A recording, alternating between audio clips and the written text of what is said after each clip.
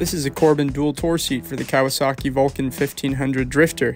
The seat is completely customizable and features a genuine leather construction and your choice of color, stitching design, studs, and more. This Corbin seat is designed to fit in with the nostalgic look of the Kawasaki Drifter and provide ergonomically shaped support for enhanced comfort to a rider as well. The Corbin dual touring saddle also accepts two removable rider's backrests to provide the additional support. Order yours at accessoryinternational.com.